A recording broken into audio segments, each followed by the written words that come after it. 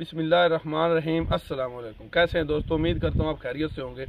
दोस्तों, आज की वीडियो हमारी बड़ी इंपॉर्टेंट है कि जो हालिया बारिश है, उसके बाद तिल की जो फ़सल है, इसको एक बीमारी का इस पर हमला हुआ है। वो कौन सी बीमारी और कितना ज़्यादा फ़सल को नुकसान पहुँचा सकती है और आपकी फ़सल की जो एक एकड़ की पैदावार है, उसका कितना ज़्यादा नुकसान हो सकता है? दोस्तों, तिल की फ़सल पे हम बहुत ज़्यादा वीडियो बना चुके हैं, लेकिन हालिया बारिशें तकरीबन ये बारिशों का स्पेल पूरे पंजाब में आप कह ले है और हर तरफ़ बारिशें आ रही तो बारिश की वजह से जो तिल की फ़सल पे बीमारी का हमला हो रहा है, वो कितना ज़्यादा नुकसान पहुँचा सकता है और किस कितनी ज़्यादा तादाद में वो बढ़ रहा है, कितनों दिनों में वो हमला किस हद तक जा सकता है और आपकी फ़सल का कितना ज़्यादा नुकसान हो सकता है।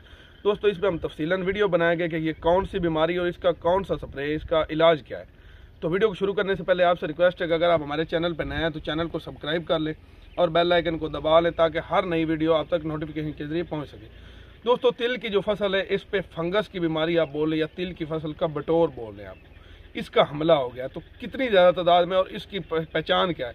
दोस्तों, तिल की जो फ़सल है, इसके जो पौधे हैं, वो आपको मतलब बटोर कहते हैं, गुच्छों की सूरत में नज़र आएँगे और वो पौधे जो इस तरह बन जाते हैं, उस उस पर फिर फल नहीं लगती। वो अच्छा दोस्तों तो ये जो फंगस की बीमारी है, ये बटोर कितना ज़्यादा मुतासर करती है फ़सलों को? ज़्यादातर ये आज, इन बारिशों के बाद किस वजह से लग रही? दोस्तों, एक जो खतरनाक कीड़ा है मेरठ बाग मेरठ बाग के नाम से कीड़ा और वो बहुत ज़्यादा मतलब तेज़ी के साथ फ़सल में फैल जाता है।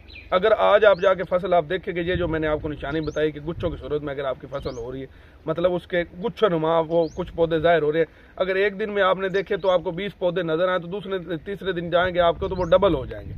तो वो जितने दोस्तों एक खेत में पौधे मौजूद हैं, उन पर फलियाँ नहीं लगेंगी। मतलब फूल तो उन पर पहले लगे होते हैं, जब वो गुच्छा नुमा शक्ल इख्तियार कर लेते तो उसके बाद उन पर फलियाँ नहीं आती। मतलब दाने उनमें नहीं बनेंगे। तो वो आपकी फ़सल का नुकसान होगा। तो मेरठ बाग जो है, सफ़ेद से कीड़ा है तो उसके ये मतलब आज इसने एक पौधे को मुतासर किया तो जल्दी से आगे फैलता है।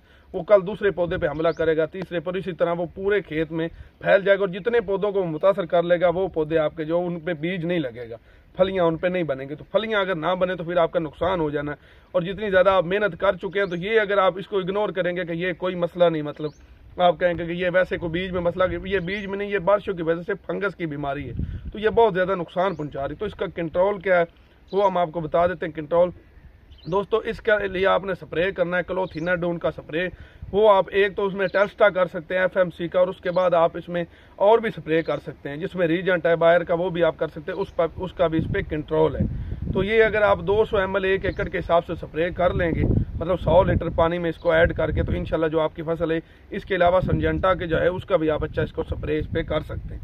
तो ये अगर आप स्प्रे कर लेंगे तो इनशाला आपकी फ़सल पे जो है, ये अटैक ख़त्म हो जाएगा और आपकी फ़सल जो है, वो इस नुकसान से बच जाएगी। अगर आप इस पर कंट्रोल नहीं करेंगे, अगर आप ये पौधे देखेंगे और आप कहेंगे कि ये कोई इशू नहीं मतलब आप इसका वक्त पे कंट्रोल नहीं करेंगे तो आपकी फ़सल से पाँच से छः माह आपकी फ़सल का नुकसान हो सकता है। तो दोस्तों, ये थी हमारी आज की वीडियो जिसमें हमने आपको एक इस बीमारी के बारे में आगाह करना था यह काफ़ी ज़्यादा तादाद में मौजूद है बीमारी। तो इसी के साथ ही हमें इजाज़त दें, हाज़िर होंगे अगली वीडियो में। तब तक के लिए अपना और अपने चैनल का ख्याल रखिएगा। अल्लाह हाफ़